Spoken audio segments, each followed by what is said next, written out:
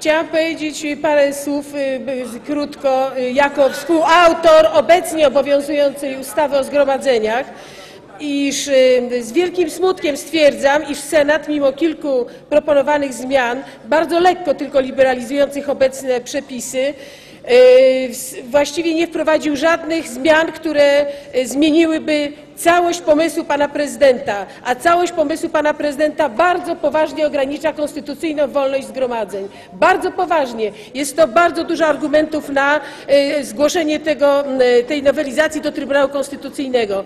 I wyrażam smutek, bo co tu, o co tutaj pytać, y, dlaczego Sejm przykłada rękę, przecież reprezentujemy obywateli społeczeństwa, przykładamy rękę do ograniczenia i odbierania jednego z najważniejszych wolności konstytucyjnych.